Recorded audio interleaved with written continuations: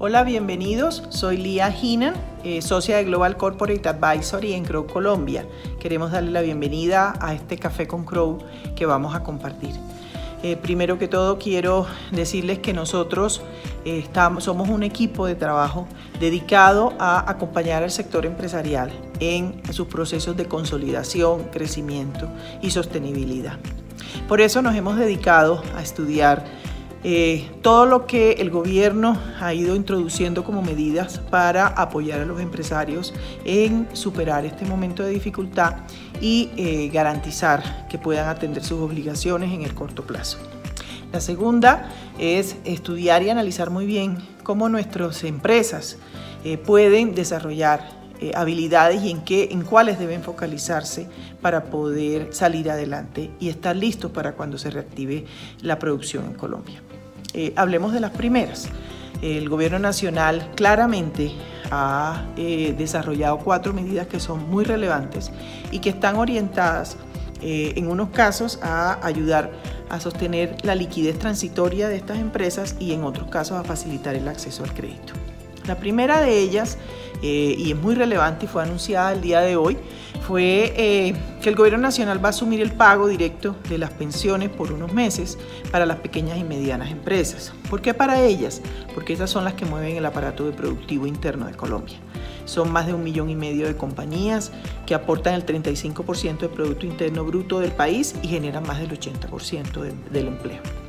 La segunda es facilitar el acceso al crédito y eso se ha hecho a través de dos grandes medidas. La primera, desarrollar a través de Bancoldex eh, las líneas de crédito que le permiten conseguir y obtener créditos para capital de trabajo en muy buenas condiciones de plazo y tasa, mejores que las que se venían dando en el mercado. Eh, la segunda es a través de la Superintendencia Financiera de Colombia, quien ya definió los lineamientos a las entidades financieras para la colocación de créditos en condiciones más flexibles de plazo, de tasa, de periodos de gracia.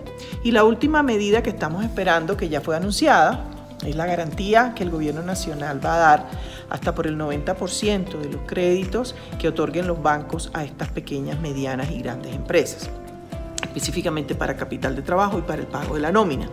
O la posibilidad de permitir la emisión de deuda para empresas un poco más grandes, garantizadas por la nación, que puedan ser eh, compradas por los bancos como inversión de tesorería y así eh, no afectaría sus indicadores de riesgo. La tercera medida son las eh, flexibilizaciones que ha dado el Banco de la República en materia de la tasa de intervención y adicionalmente a eso, eh, en la liberación de tres puntos porcentuales del encaje sobre cuentas corrientes y cuentas de ahorro y un 1% sobre CDT a menos de 18 meses. Esa liquidez que le genera estas medidas al, al, sector financiero no es para que la conserven ellos, sino para que la irriguen en nuevos créditos para el sector empresarial. La última y no menos importante eh, son las medidas tributarias, el aplazamiento de las fechas de pago de los impuestos y el, todo el proceso de evolución rápida de los saldos a favor de IVA y renta son muy importantes y hay que eh, aprovechar esta ventana oportunidad porque es muy corta para poder reclamar esta devolución. Nos queda pensar entonces y trabajar sobre nosotros mismos. ¿Qué debemos hacer los empresarios para fortalecernos y para aprovechar este momento y estar listos cuando haya el repunte? Lo primero es proteger nuestra caja tenemos que mantener y preservar una liquidez que nos permita estar tranquilos entre 3 y 4 meses. Lo segundo es renegociar todas las condiciones eh, que tenemos con nuestros proveedores, con nuestros clientes, con nuestros eh, prestadores de servicio y, por qué no, con nuestra nómina, porque necesitamos que todos aporten para salir adelante en este momento. La tercera es reinventarnos, la innovación. Tenemos que desarrollar nuevos productos, nuevos servicios, nuevos canales de distribución y ventas que sean complementarios o suplementarios a lo que venimos habitualmente desarrollando. Y por último, eh, lograr la capacidad de anticiparnos al cambio eh, de redefinir en este periodo antes de que se active la productividad cuál va a ser nuestra nueva estrategia de empresarial, eh, nuestra estrategia de responsabilidad social, de manejo del talento humano y cómo vamos a estar listos para que ese día que suceda podamos implementarla de manera inmediata y aprovechar ese rebote como como un aspecto que sea beneficioso para nuestras compañías. Mil gracias nuevamente por estar aquí con nosotros. Quiero despedirme con una frase de Warren Buffett que en este momento se vuelve muy relevante.